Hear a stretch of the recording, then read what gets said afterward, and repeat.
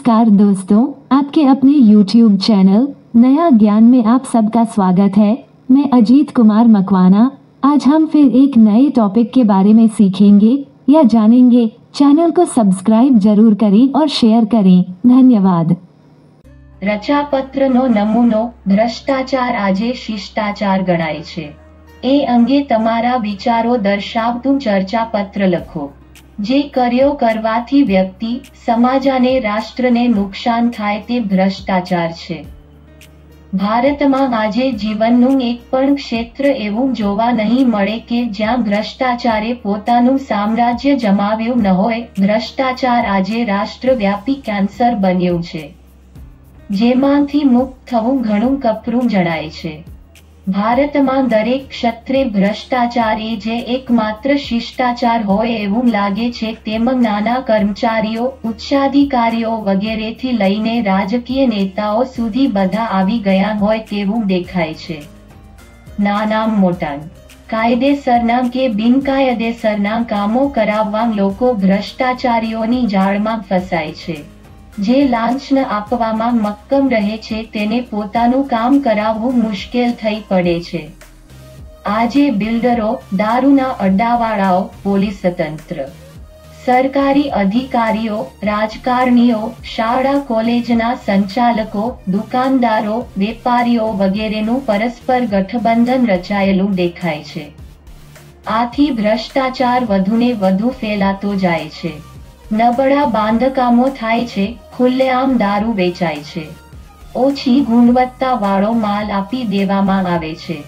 ચીજવસ્તુઓના વધુ પૈસા લેવાય છે, નકલી દવાઓ અને નકલી ચીજવસ્તુઓ બજારમાં મુકાય છે, ટૂંકમાં ભ્રષ્ટાચારીઓ મનુષ્યના કિંમતી જીવન સાથે ચેડા કરે છે. તેમનો સ્વર્થ વધતો જાય છે અને મનુષ્યનું જે થવું હોય તે થાય. તેઓને માનવ જીવનની કાંઈ પડી નથી. બાળકોના મધ્યાહન ભોજન કે ઢોરોના ચારના પૈસા ચરી જતા ભ્રષ્ટાચારીઓ જરાય શરમ અનુભવતા નથી. ભૂકંપ પીડિતો કે દુષ્કાળગ્રસ્તોની સહાયમાંથી પણ ભ્રષ્ટાચારીઓ કટકી કરી લે છે ક્ર સહાયમાં આવેલી વસ્તુઓ વગે કરી દે છે. ભ્રષ્ટાચાર ફેલાવાના અનેક કારણો છે. મનુષ્યનું નૈતિક અધપતન થયું છે. તે ઓછી મહેનતે વધુ મેળવવા માગે છે. તે ભૌતિક સમૃદ્ધિ મેળવી સમાજમાં મોટ દેખવાનું પસંદ કરે છે. તેને કોઈ વાતનો સતોષ રહ્યો નથી. ભૌતિકવાદની આંધળી દોટે મનુષ્યને વધારે ભ્રષ્ટાચારી બનાવી દીધો છે. ભ્રષ્ટાચારથી વ્યક્તિ, સમાજ અને રાષ્ટ્રનું નૈતિક અધપતન થતું જાય છે. ભ્રષ્ટાચારને જડમૂળમાંથી દૂર કરવાની જરૂર છે. તે માટે સમાજે જાગૃત થવાની જરૂર છે. સાદા અને પ્રામાણિક જીવનને મહત્વ આપવું જોઈએ. મહેનતનો જ રોટલો મેળવવાનો દ્રઢ સંકલ્પ કરવો જોઈએ.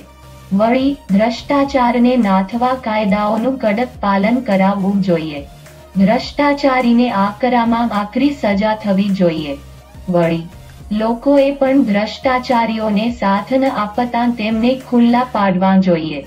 ભ્રષ્ટાચારના રાષ્ટ્રવ્યાપી કેન્સરથી રાષ્ટ્રને ઉગારવું અઘરું જણાય છે, પણ અશક્ય તો નથી જ સૌના સહિયરા દ્વઢ સંકલ્પ અને પ્રયત્નથી તે શક્ય બનશે.